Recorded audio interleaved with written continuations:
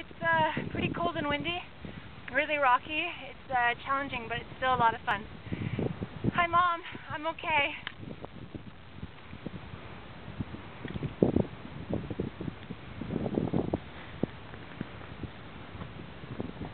I'm back.